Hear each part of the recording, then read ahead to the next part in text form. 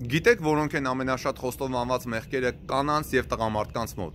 Խոստովանա հայրերն ասում են, տղամարդիկ ամենաշատը խոստովանում են կնոջ նկատմամբ ցանկասիրության մեղքը, երբ որ նայում են կնոջ հետևից ու ցանկանում են նրանք։ Իսկ կանայք ամենաշատը խոստովանում են հպարտության մեղքը։ Հիմա նայեք, Եթե դուք այս մեղքերը տեսնում եք ձեր մեջ, հրաժարվեք սրանցից։ Տղեկ ջան, եթե դուք փողոցով անցնող աղջիկ եք տեսնում ու ոտից գլուխ չափում, Փորձեք ձեր աչքերը մի կողմ տանել, մի 20 վայրկյան դիմացեք համբերեք մինչև կանցնի, ու հետո դուք էլ կմոռանաք։ Աղջիկներ ջան, դուք էլ հետևեք ձեր հակու կապին, որ เป զի անարկի ուշադրություն չհրավիրեք ձեր վրա ու գայթակղություն չդառնաք։ Քանի որ Տեր Հիսուսը շատ խիստ խոսեց գայթակղողների պատիժների մասին։